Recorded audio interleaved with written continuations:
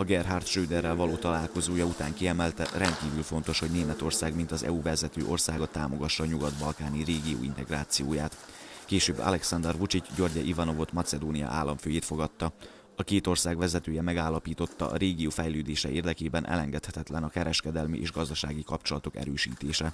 Održao sam 21, mislim, bilateralni susret sa predstavnicima isto toliko zemalja i organizacija. Mislim da smo uspeli da unapredimo naše i političke odnose pre svega, ali rekao bih da ustanovimo određene i konkretne korake u uspostavljanju još boljih ekonomskih odnosa sa pojedinim zemljama.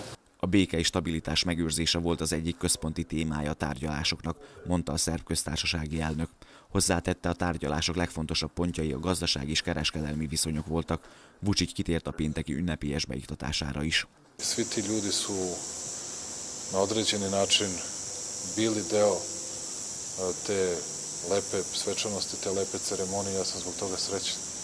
Ja ne mislim da je to bilo takmičenje, to je bilo saradnja i međusobno savjetovanje i dobra volja koju treba da pokažemo svim ljudima.